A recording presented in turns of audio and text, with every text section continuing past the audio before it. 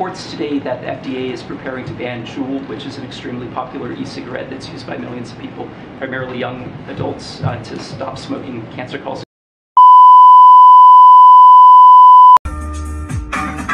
Oh, I won't let you go.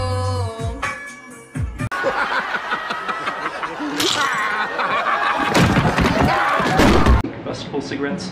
Um, is that true? And if so, is the president involved in that decision making? I, I would refer you to the FDA. I don't have anything for you on that at this time. Lamp oil, rope, bombs? You want it? It's yours, my friend, as long as you have enough rubies.